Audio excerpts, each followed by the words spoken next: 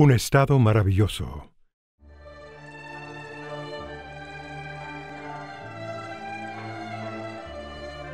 Aunque encerrado durante años en este mundo de polvo, no me esfuerzo ni me preocupo.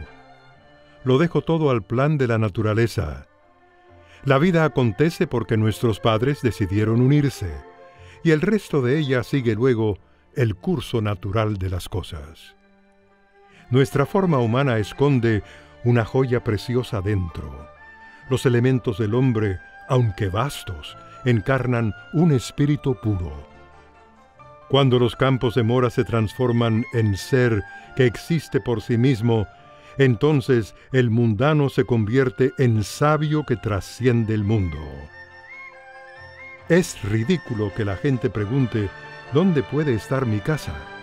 Con mi bastón mágico, coronado por una nube, yo quito el cielo, las nubes mañaneras, la luz interior que el meditante contempla brillando de entre los ojos, no es palabra vana, pero no sería bueno jactarse de que ha brotado mi flor dorada.